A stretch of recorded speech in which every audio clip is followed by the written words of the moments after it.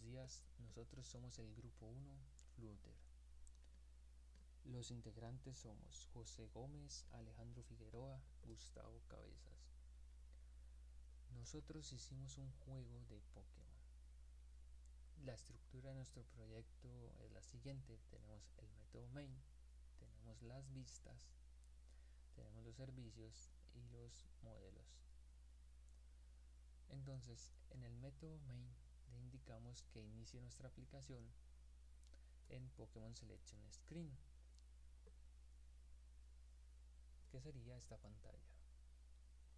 Entonces, cuando iniciamos, vamos a hacer una solicitud para obtener la lista de los Pokémon. Para eso usamos eh, el PokeAPI Service, el Fetch Pokémon. Lo tenemos aquí. Este fetch Pokémon obtiene el nombre y una URL únicamente. Lo podemos ver aquí en el modelo. En el modelo tenemos a Pokémon que recibe name y URL. Aquí obtenemos la lista de los Pokémon por el, eh, la lista de Pokémon dada un número, ¿verdad? Le indicamos 200, nos va a devolver 200 Pokémon. Luego usamos un Fetch Pokémon Details para obtener los detalles de ese Pokémon dada una URL. Ok, y aquí igual en el objeto Pokémon, bueno, este es Pokémon.dar, pero tenemos dos clases, Pokémon y Pokémon Detail. detail. Tenemos la clase Detail Pokémon. Y también tenemos el stat que sería para de, codificar, de serializar, eh, sería el ataque, la defensa, el special attack y el special defense. Y también tenemos otros métodos que serían para bajar la vida, para bajar la defensa y para actualizar la defensa. Ok, vámonos al Pokémon Selection Screen. Eh, una vez obtenidos los Pokémon, los vamos a, desplegar verdad en la, en la pantalla.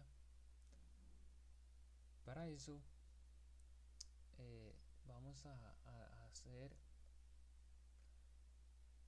eh, la solicitud verdad porque habíamos visto que obtenemos la lista de los Pokémon. Luego en el Future Builder en, el grid tenemos que obtener los detalles de esos Pokémon. Para eso hay que hacer otra solicitud a la API para obtener la lista en los detalles de ese Pokémon dado la URL. Aquí la tenemos. Luego tenemos el History Detector, que es para que nosotros al presionar un Pokémon eh,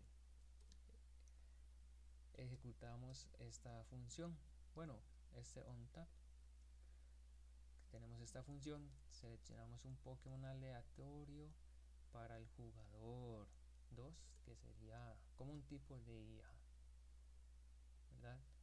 aquí le hacemos un push a material payload que el battle screen va a recibir el Pokémon del jugador 1 y el Pokémon del jugador 2 que ya hemos seleccionado aleatoriamente eh, aquí tenemos una función para, para que sea responsive el, cross access count es el número de columnas.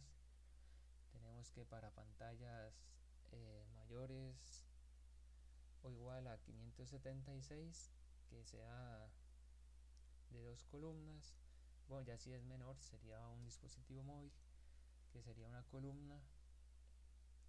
Luego mayor o igual a 765 tres columnas. Mayor o igual a 900 92 igual a 4 columnas y de, 992 en adelante serían 4 columnas. Ok también tenemos eh, este el on search chain.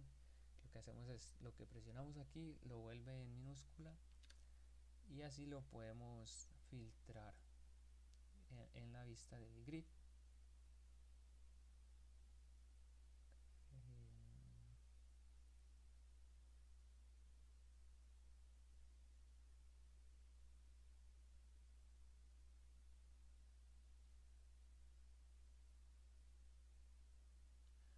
aquí están los Pokémon filtrados. Entonces vamos a mostrar solo los Pokémon que están filtrados. Si no hay nada no vamos a filtrar nada. Y si, está, si hay un filtro los filtramos y los desplegamos en el grid view. Ok. Por ejemplo ahora vamos a seleccionar a este que dice Aerodactyl. Ok. Entonces le hemos enviado al battle screen el Pokémon 1 que es el que nosotros seleccionamos el Pokémon 2 fue seleccionado automáticamente por el método random que acabamos de ver. Entonces vamos al battle screen. Aquí eh, lo que tenemos es que recibimos a los Pokémon eh, son final. Pero entonces vamos a hacer eh, otra clase que va a extender de battle screen de un estado.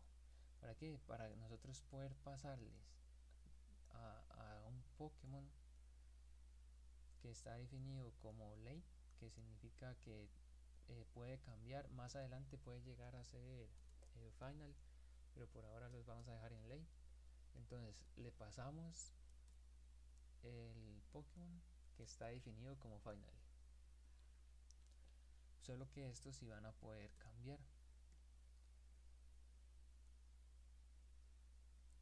y luego tenemos por aquí bueno en la pantalla vemos que tenemos un historial de batalla que es donde se va a desplegar los movimientos que vamos haciendo.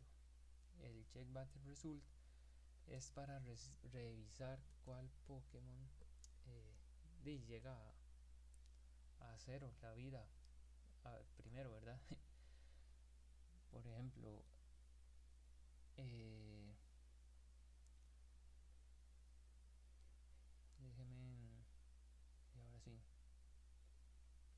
sí. Eh, entonces, aquí tenemos que si el Pokémon 1, Player 1, el estado del HP,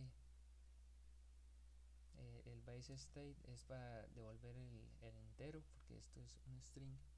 Entonces, si es menor o igual a 0, significa que ya perdido. ¿Verdad? Entonces eh, entonces si el Pokémon 1 del jugador 1 es menor o igual a 0 significa que el jugador eh, de la inteligencia artificial ha ganado. Y luego lo que hacemos es que volvemos a empezar el juego. Aquí elimina, eliminamos todas las rutas existentes y lo mandamos para Pokémon Selection Screen otra vez. Entonces si el Pokémon 1 Player IA 1 eh, tiene la vida menor o igual a 0 entonces significa que el jugador 1 ha ganado. Eh, aquí es en el show battle result screen. Es donde vamos a ir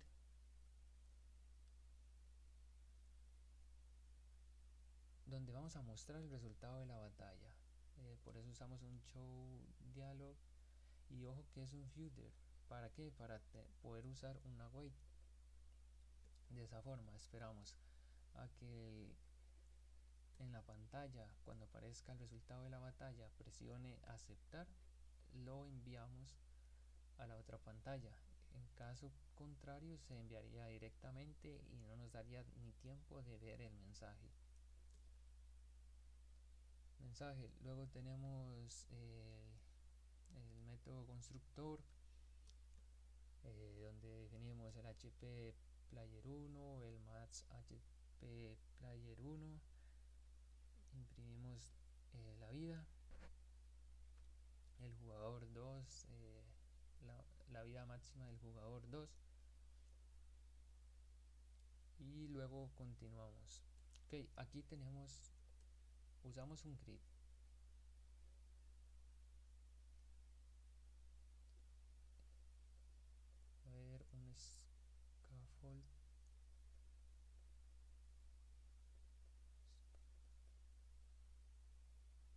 Eh, entonces lo que tenemos es que son tres columnas. Por eso eh, tenemos aquí el column, este otro column y la otra columna del historial de batalla.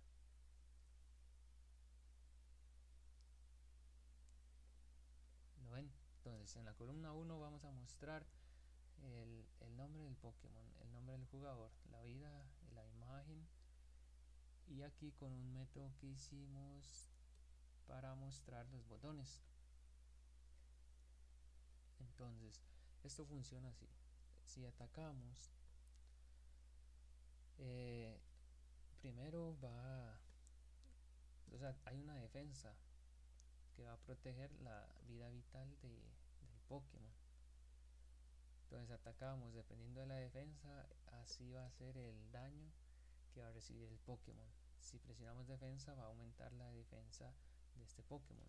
Si usamos una Special Defense va a decrementar la defensa del Pokémon del jugador 2. Y si usamos Special Attack eh, simplemente es el ataque especial que va a ser, en este caso va a ser menos daño, tiene más daño el ataque normal. Y así es como funciona. Pero aquí tenemos, bueno, en esta parte podemos ver donde definimos el, color del texto del Pokémon. Eh, entonces, si la vida es es más alto el 70%, lo mostramos en verde. Si es más alto el 40%, lo mostramos, bueno, entre el 40 y el 70, mostramos de color amarillo. Eh, si es menos del 40%, es de color rojo.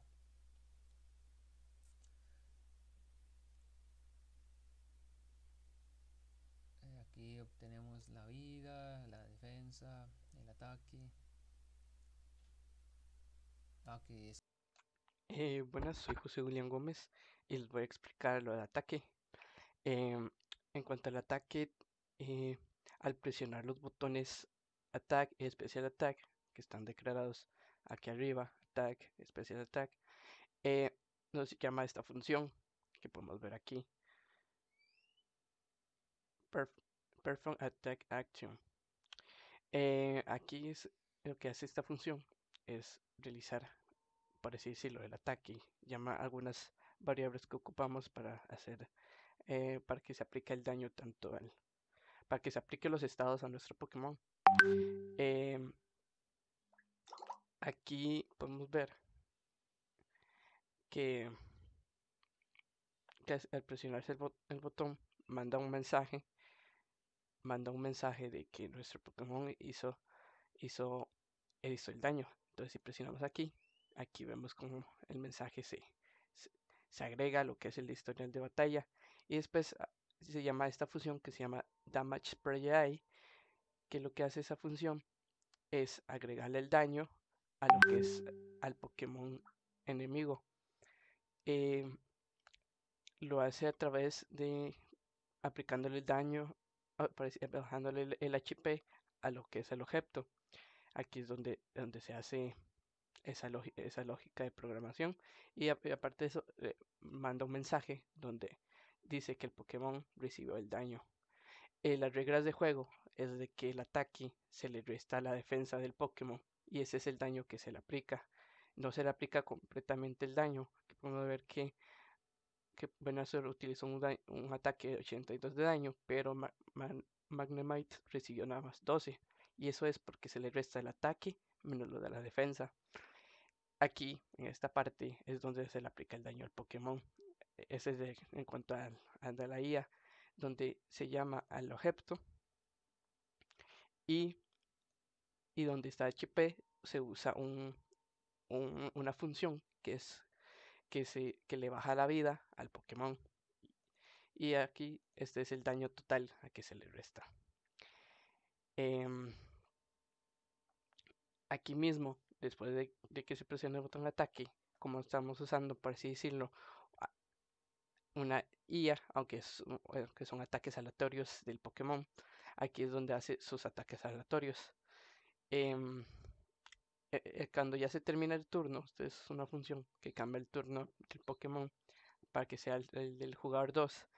Em, se, escoge un número aleatorio del 1 al 4 de por cada uno de los ataques y y hace, y hace exactamente lo mismo. Manda un mensaje en, en, el historial de batalla y, se usa una función muy parecida a, al de Damage per AI, que es el, el Damage per 1, que es exactamente lo mismo, nada más que aplicado al jugador 1. Eh, en caso de que el, que el, jugador defienda, tiene dos opciones, que es defensa normal y especial defense. El defense normal lo que hace es incrementar la defensa de nuestro Pokémon. Aquí podemos ver que tiene 83. Si le presionamos defensa, la defensa de nuestro Pokémon sube a 93. El Special Defense lo que hace es bajar la, el, bajar la defensa del Pokémon contrario. Si nosotros le presionamos Special Defense, vamos a ver que el Pokémon del jugador 2 de 55 tendría que pasar a un 40. Bueno, aquí él volvió a utilizar lo que es la habilidad para subirse Ah, bueno, sí, aquí está, sí se le aplicó, nada más que me estaba fijando aquí, pero el, el, la defensa sí se le bajó. Eh, todo eso se hace por, es, por estas, por estas, eh, por, por esta función que se llama, que se llama eh, Defensive Aquí tenemos que hay dos de Defense Up Prayer 1, que ese es el de nuestro, eh, nuestro, nuestro Pokémon, y el del jugador 2 es ese Defense Up Prayer Eye, que lo que hace es el que dependiendo del tipo, si es tipo Defense o tipo Special Defense, ya que, ya que obtiene dos parámetros, que es la defensa y el tipo. Aunque, aunque bien la defensa no se está utilizando, el tipo sí. Y lo que hace es que llama al objeto. Aquí podemos ver que llama al objeto. Y, y usa un, una función. Aquí llama al objeto para obtener la defensa del, del, Pokémon. Y aquí vemos que llama otra vez al objeto y una función que se llama Upgrade Defense, que lo que hace es bajarle, bajarle en 10 la defensa, eh, no, subirle en 10 la defensa de nuestro Pokémon. En caso si es el Pokémon, si es del Pokémon contrario, que es, si es el Special Defense, que es el que baja la defensa, aquí llama, aquí llama, aquí trae la defensa del, del Pokémon del, del, Pokémon del jugador 2 mediante el objeto y usa también otra función que se llama Decrease Defense y lo baja en 15. Eso, eso se aplica para los dos para los dos Pokémon y eso es en cuanto a la explicación de la batalla y muchas gracias.